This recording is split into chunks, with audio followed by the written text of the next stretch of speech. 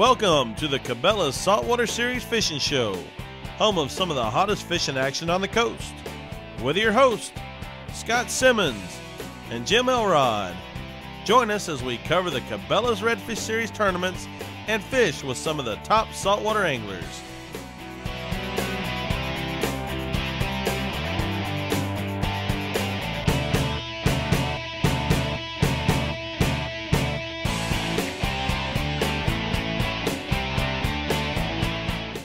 Saltwater Series is sponsored by Cabela's, the world's foremost outfitters, Majek Boats, leaving the competition behind, Cresta's Boats and Motors, Port Aransas Chamber of Commerce, the Brazosport Convention and Visitors Council, Evinrude E-Tech, Laguna Rods, Wade Right, Power Pole, Tejano Salsa, and these fine sponsors.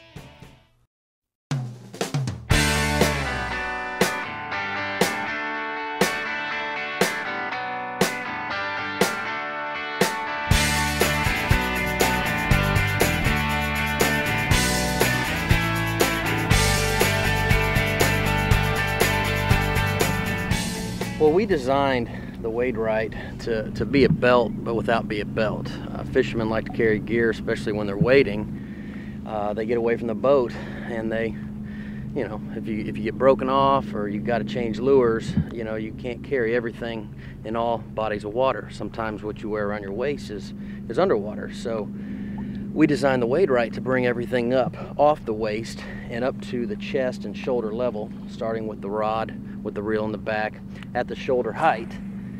And then we wanted to outfit it with these one inch clips to allow an angler to customize what they want, whatever they want to carry. For instance, I have a shoulder box that we that we sell, double box. And then I have a rod tube in the front, my pliers of course up here. So everything is close to my chest. It's up out of the water. Uh, I know that if, if my chest is out of the water, I'm out of the water. And I know that if I need to handle a fish, if I need to retie, I've got a secure place I can put my fishing rod and know that it's not gonna fall. I'm not gonna dunk my reel. And uh, hopefully I'm just dunking lures that day.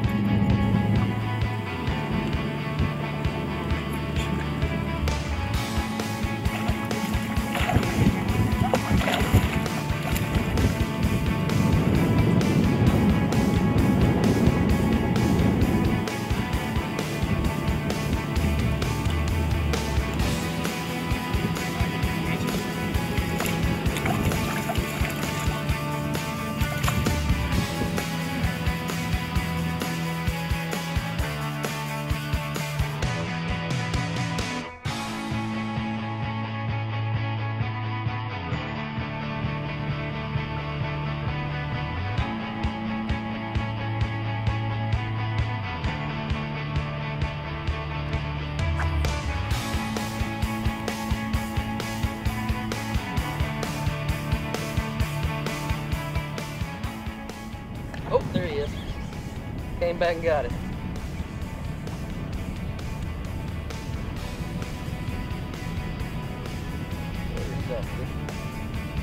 Oh yeah, good.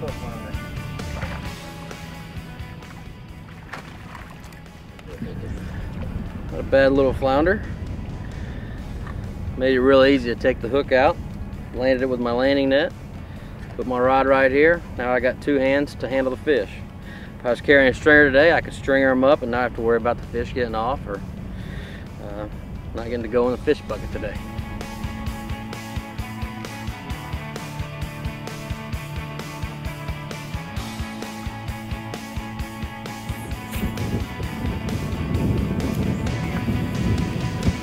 I was sitting on the bottom. Yeah. I donated a rod.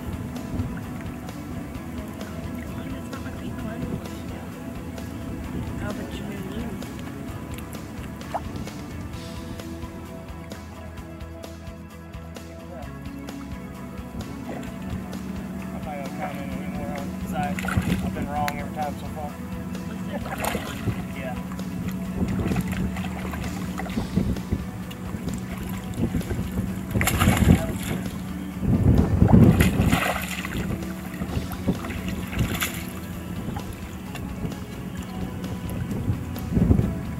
Not bad little fish. All right. Good Whoa, that's a pretty one, man. Real pretty fish. Where'd you catch that on? Gold spoon. Man. Barely moved. Flounder on the spoon. Look at that. It hit the water. I just dragging a spoon across the bottom. Snagged up a nice little flounder. That'll eat good tonight. So having a place to put your rod and get everything out of your way, deal with all this with two hands and not one, makes all the difference in the world. What's nice about all the gear is I can still work a lure. Not in my way. I to fish around it. I know it's going to be there. It's it's fixed.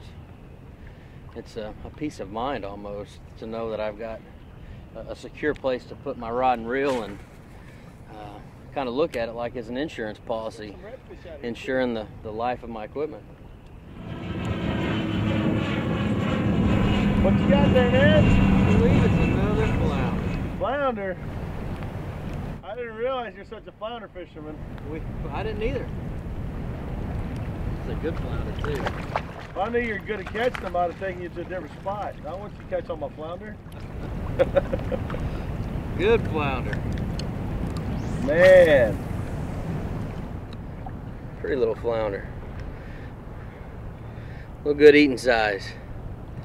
We'll put him on. Uh, we'll put him on somebody's stringer for sure. Yeah, Tim had come up with a design that we took uh, to the Houston Fishing Show and we had success with it. And uh, through our tinkering and deciding what we could go from there, we came up with uh, the choice model, which allowed you to have all the accessories. And uh, that's where we really put our heads together and came up with the product that you see right now.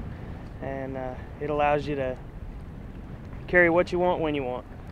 First one he made, I think he actually had it sewed together at a shoe shop.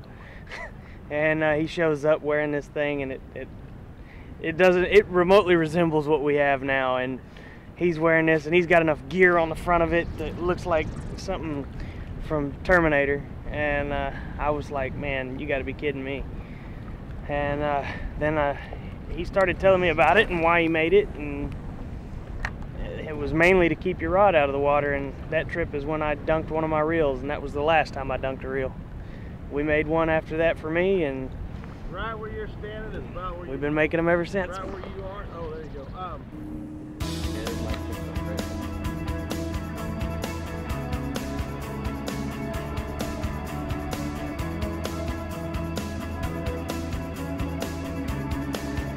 look at that. Oh, all three of you at the same time.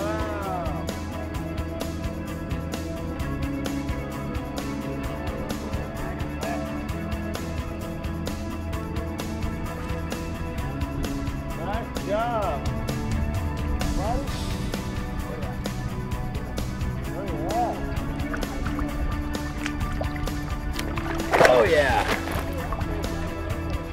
Good flounder. See, you get him in the net, let out a little line, stop the rod tube in. Now I got two hands to mess with the fish. Always nice having two hands to mess with a fish.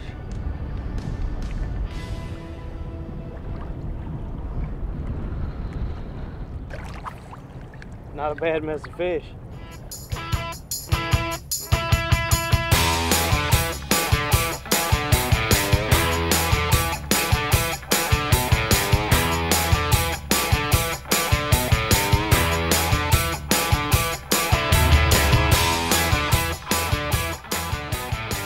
Closed captioning provided by Wade Right by Coastal Fishing Gear.